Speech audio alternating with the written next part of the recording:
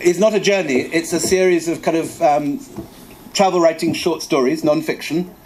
Uh, and I talked to nine people who represent nine different forms of Indian spirituality lived in, in modern India.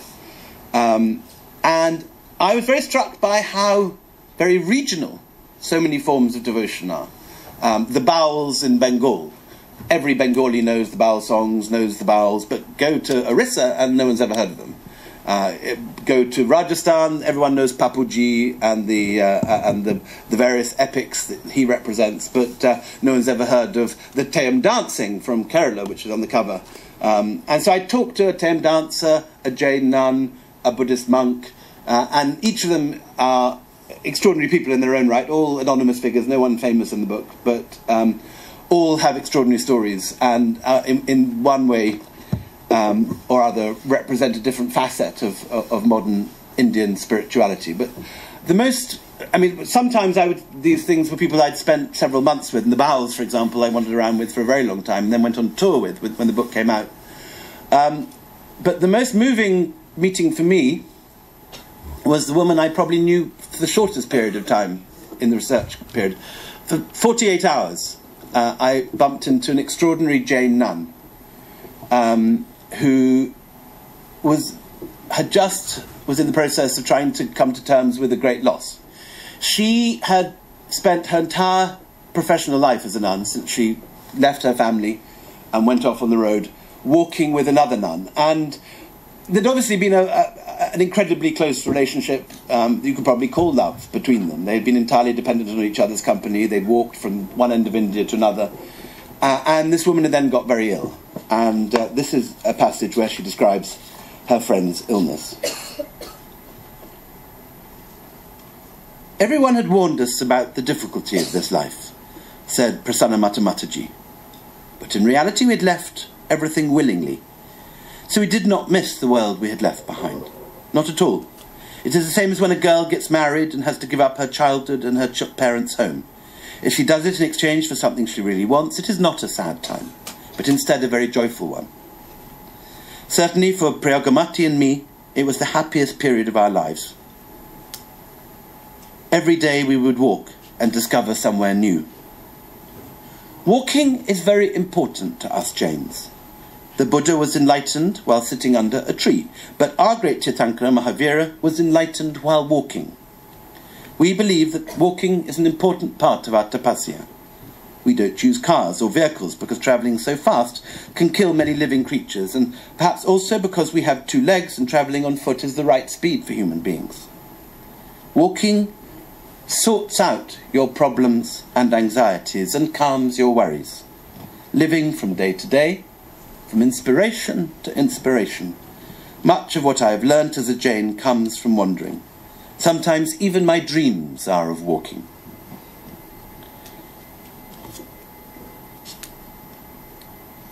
It was while walking that Prayogamati began to realize that her health was fading. Because she had difficulty in keeping up with me, we noticed there was something wrong with her joints. She began to have real difficulty in walking, or even more in sitting or squatting. For ten years, her condition got worse. By the end, it pained her to move at all, and she had difficulty moving or sitting. Then one afternoon, when she was studying the scriptures in a monastery in southern Karnataka, she began coughing, and her cough became worse and worse and she began to make this deep, retching noise. But this time, when she took her hand away from her mouth, she found it was covered in blood. After that, there was nothing more for a week, but then she began coughing up blood very regularly. Sometimes it was just a small amount, enough to make her mouth red. At other times, she would cough up enough to fill a small teacup, or even a bowl. I guessed immediately that it was TB and got special permission from our Guruji to let her see a doctor. Western medicine is forbidden to us, as so much of it is made using tested on dead animals or torturing animals during the testing process. But given the seriousness of the situation, our Guruji agreed to let a Western doctor look at her, although he insisted that only herbal medicine could be given to her, and only at the time of her daily meal. Prayogamati remained very calm, and for a long time she hoped she might recover her health. Even when it became clear that this was something very serious, she remained composed and peaceful. I think it was always me that was more worried. She kept assuring me that she was already feeling better, that it was nothing serious, but in reality you didn't have to be a doctor to see that her health was rapidly deteriorating. Her digestive system became affected, the bloody coughing continued, and after a while she started showing blood when she went for her ablutions too. Eventually I got permission to take her to a hospital, where she had an MRI scan and a full blood test. They diagnosed her problem as Koch's syndrome, advanced TB of the digestive system. They said her hemoglobin was low and her chances were not good. One doctor said if we'd come earlier, they could have helped, but we had left it too late.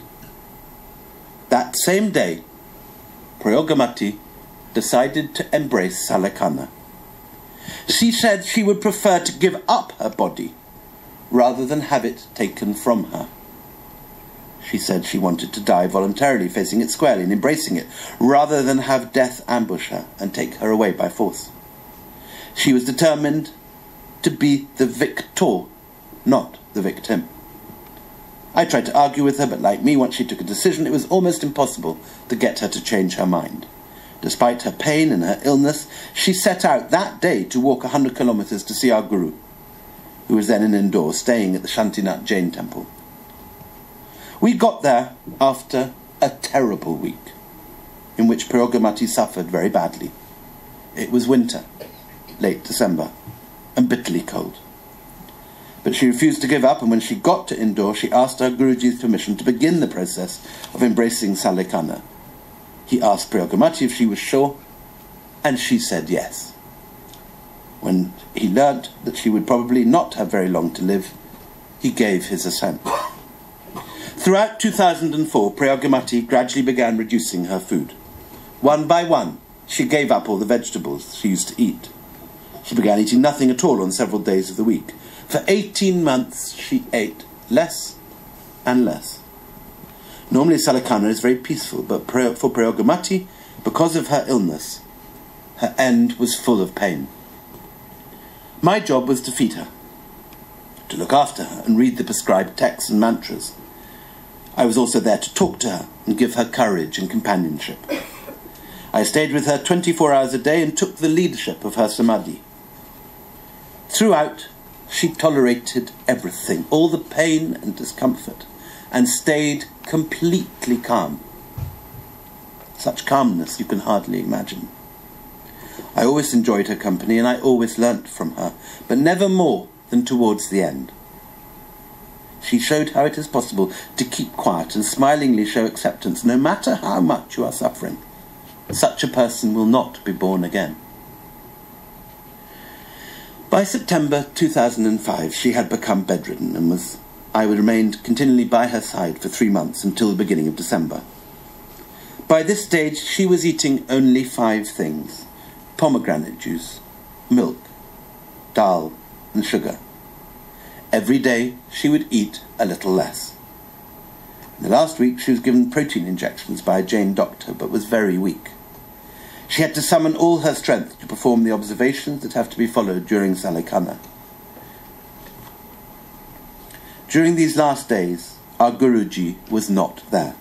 He had gone away for a function. So for the last days, I was the only person she knew in that temple. Though many munis were there to sing and chant and support her.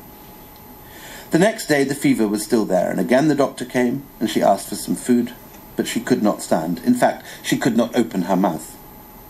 He advised her to drink half a glass of milk, and this she took. For some reason she wanted to clean her teeth, but she didn't have the strength, and the doctor advised her to rest. She was very frustrated by this. Just after 1.30, I went to take my food, and was just starting eating when Prayogamati cried out loudly. I rushed to look after her. It was clear that her condition was not good at all. There was no one around except a boy at the gate. So I sent him off for the doctor. When I came back, I held her hand, and she whispered that she wanted to stop all remaining food. Her suffering was too much for her now. She said that for her, death was as welcome as life. And there was a time to live and a time to die. Now, she said, the time has me, come for me to be liberated from this body. By that time, our Guruji had returned and he gathered the community. By early afternoon, all the Gurus and Matajis were there guiding her and sitting around her bed. Others came to touch her feet. The room was full of people, and so was the veranda outside. Everyone was chanting the Namokara mantra, singing bhajans and kirtans, and reading the Jain texts which explain the nature of the soul. Everyone was there to support Prayogamati, to give her courage as she began to slip away. Around 4 p.m., the doctor said he thought he was about, she was about to die, but she held on until 9. It was very peaceful in the end. It was dark by then, and the lamps were lit all around the room. Her breathing had been very difficult that day, but towards the end it became easier. I held her hand, the monks chanted, and her eyes closed. For a while, even I didn't know she had gone. She just slipped away. When I realized she had left, I wept bitterly. We are not supposed to do this, and our Guruji frowned at me. But I couldn't help myself. I had followed all the steps correctly until she passed away, but then everything I had bottled out, up, came pouring out. Her body was still there, but she was not in it. It was no longer her. The next day, the 15th of December, she was cremated. They burnt her at 4 p.m. All the devotees in Indore came, over 2,000 people. It was a Sunday. The following morning, at dawn, I got up and headed off. There was no reason to stay. It was the first time, as a nun, that I had ever walked anywhere alone. Thank you.